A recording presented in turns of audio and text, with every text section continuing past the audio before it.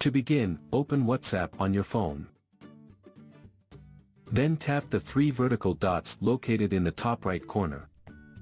From the drop-down menu, select Settings. Below your name, a new interface will appear displaying your About info with a clickable icon.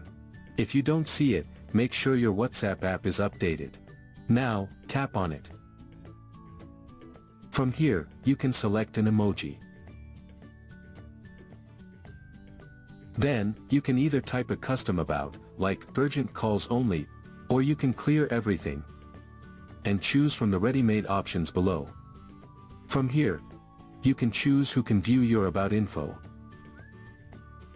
If you tap on duration below, you can set a time for your about, such as 1 hour, 8 hours, 1 day, 2 days, 1 week, or even create a custom duration.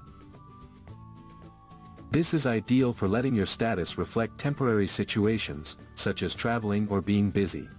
Once you are satisfied with everything, tap the check mark at the bottom. And that's it, your About info is now live. It's visible to the audience you have selected. This feature lets you share personalized updates with only the people you choose.